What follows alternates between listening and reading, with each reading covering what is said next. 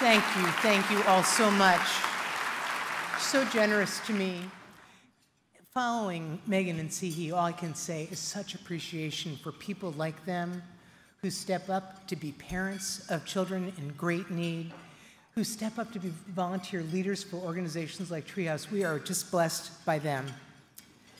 So 24 years ago, I interviewed to become the executive director at Treehouse.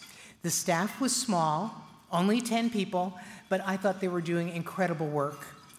This was the only agency I knew of that focused on supporting kids' developmental needs and interests in life instead of simply trying to eliminate a problem. Children in foster care are often seen as a collection of problems to solve, but Treehouse saw them as kids, just kids, who deserve to have music lessons, play team sports, and sing songs with new friends at camp. Even back then, I knew I was destined to be at Treehouse. The only problem was I had zero experience leading an organization. I was a social worker. I'd been a fairly low level program manager and also served on a board of directors. I had enthusiasm to spare, but not the right qualifications for the job. After my second interview for the position, I didn't hear anything. So I called. Then I started calling every week. Eventually, they said, Fine, you're hired. So my persistence paid off. Back then, Treehouse took a chance on me. It was an amazing blessing that they chose to see my potential, and that's the same thing you do with kids and youth in foster care. We see their promise, we give them a chance, we invest in their potential. The best way to give kids a chance has not always been so clear. Through the years, we've taken a few leaps of faith and tried a lot of program innovation, not knowing if they would work or not. These are what is I refer to as our scary moments. Early on, when education became a major focus for Treehouse, the board was reluctant to hire direct service staff. Instead, they tried contract tutoring. It didn't work very well.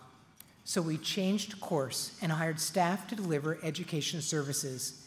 It took failing first to see the direction we needed to take. Our free store makes sure kids have clothes, toys, backpacks, and other essentials, and the store has had a lot of these scary moments. For example, we used to schedule shopping appointments, only people didn't show up. We switched to open hours, terrified that it would overwhelm us. The change was a big turning point for us because it was the beginning of delivering services based on client needs rather than on organizational convenience. We used to provide a prescribed list to shoppers. Each person could take two pairs of pants, four shirts, one pair of shoes. The idea was that equal experiences for everyone would mean better inventory management. But since we set the shopping list, people ended up taking things they didn't really want, and they didn't get the things they really needed, which was and is the whole point of the store. We realized that clients know what they need better than we do, and we adjusted our shopping criteria. I was worried. Were we going to run out of pants? Well, we did actually run out of pants, but we figured it out and have a well run, consistent inventory today. At Treehouse, our evolution has been a constant process of evaluating what works, what might work better, and making scary decisions to improve kids' lives. Really, to date, we haven't had a major catastrophe. Knock on wood. That's what amazes me about taking risks. They do, really do result in progress most of the time, and always, always result in learning. In our case, progress is the only option because each decision impacts kids. Mary and I adopted both of our kids from foster care, and there were lots of challenges that I've discussed many times at this stage. When they were growing up, I took them to community swim every week for 10 years. It was a sweet, sweet way to be together on a regular basis. Daryl was in martial arts and really excelled there. Amber was in Girl Scouts, her church youth group, and dance classes. I think of those activities as little moments of light shining because that's what life is a series of little moments strung together. At Treehouse, we're trying to introduce sparks of light to children who've been traumatized by too many negative experiences. It would be great if we could just love all of it away and they are miraculously healed. As you heard, it doesn't work that way, at least not instantly. Things can be going along pretty darn well, and then a setback happens and they're starting over again. Young adulthood is particularly tenuous. As a parent, I can tell you that 18 year olds need a lot of help. They don't think they do, their parents out there, but they do. Some of it is as simple as texting or calling or dropping by with a how are you doing message. Some of it is responding to a need when they ask for help.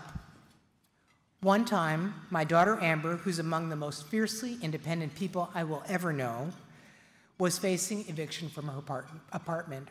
A series of decisions had led her to owe $400, which quickly ballooned to $1,600, and which she could not pay. But she didn't get evicted. Why not? Because her parents paid the $1,600. the only thing I said to her was, Couldn't you have called me a little earlier so it would be a little cheaper?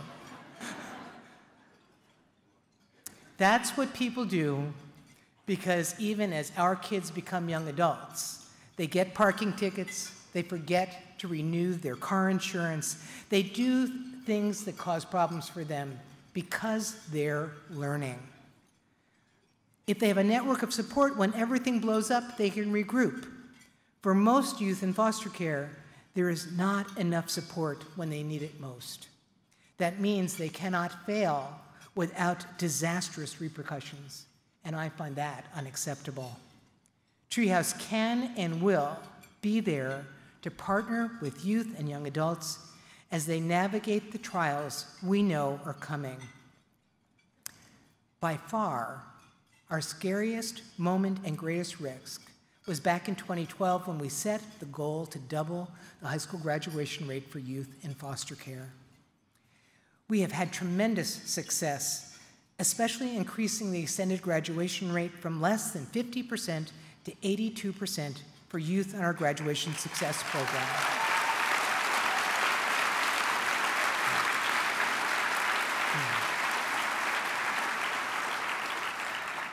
That success is my proudest achievement.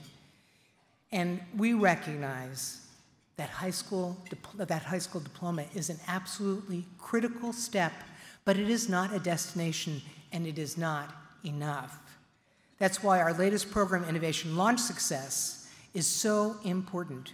We're thrilled to be officially announcing that program today.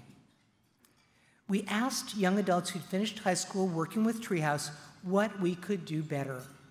Every one of them, every one of them said, we need Treehouse with us every step of the way as we make the long journey into adulthood. How long is that? You know the timeline is different for every young adult. We know the vast majority of our young adults want to go to college. Most of them get as far as enrolling and taking classes, but most don't get beyond the first quarter. This transition is difficult for all of us, but especially youth who've experienced foster care. With Launch Success, we provide ongoing coaching and whatever else they need for a successful launch into adulthood. We ensure each participant builds a strong network of natural supports because we know that having a consistent, caring adult to celebrate accomplishments and problem solve challenges makes all the difference. We connect them to service providers. Together, we work toward career goals so they keep moving forward beyond that first quarter of college or trade school. Today, you will hear from three young adults who are navigating these obstacles with tenacity and purpose, and you will truly be inspired. We'll be there with continued support until youth in foster care can do what we believe are absolutely critical for a successful launch into adulthood. Number one, earn a career credential or a college degree. Number two, land a living wage job. And number three, secure stable housing. These are the foundations for adult success. A lot of what has kept us going is this unbelievable champion, a community of champions. I'm going to say that again. A lot of what has kept us going is this unbelievable community of champions, all of you here today. Hmm. While not everyone has been a parent, every one of you in this room has been a child. And each of you can surely think about who has influenced you to become who you are today. Surely somebody has made a difference in your life. And those are the relationships Treehouse invests in through our programs the coach, the teacher, the music uh, teacher or dance teacher, a librarian. We connect youth in their communities to people who care about them and who inspire them to dream big. All those years ago, Treehouse saw my potential and took a chance on me, just like we do today for more than 7,000 kids and youth in foster care every year. So thank you so much for being here today, for investing in the hopes and dreams of our youth, and giving generously. Thank you.